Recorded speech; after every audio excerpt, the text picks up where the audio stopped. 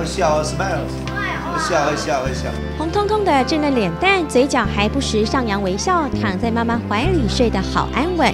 她是新竹县一百零一年的元旦宝宝娜娜，等不及提早两周来报道，就是要当元旦宝宝。很开心啊，也没遇到他，因为其实提早两个礼拜生。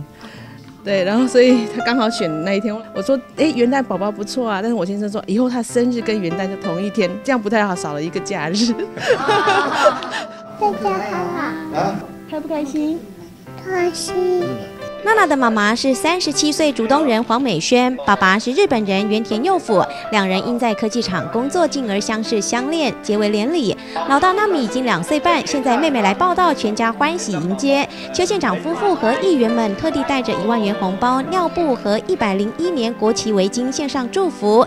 邱县长幽默地说：“干脆把娜娜取名原田中日好了，逗得大伙儿笑呵呵。”选择元旦宝宝的一个生产期。真的是不简单啊！在没有特定密密密约之下，能够在元旦的时候把它组织起来，没有刻意要求，一般人都有刻意要求，就代表着我们幼保幼普先生还有我们黄啊这个黄小姐很有福气。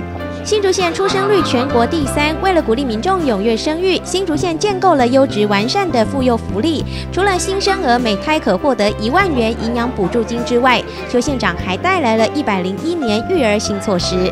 育儿津贴的部分，家中有两岁以下幼儿，原符合领取条件为年所得一百五十万以下，现放宽为综所税率未达百分之二十，父母一人没上班在家顾小孩，一般家庭可领两千五，中低收入户四千，低收入户五千元补贴。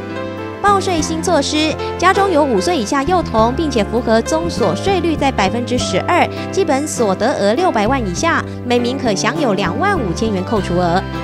保姆托育费用原规定年所得需在一百五十万以下，现放宽为综所税率未达百分之二十皆可申请。一般家庭可获得每个月三千元托育补助，弱势家庭五千元。呃，生孩子的话，至少政府呢可以负担大概二分之一到三分之一的左右的责任了哈。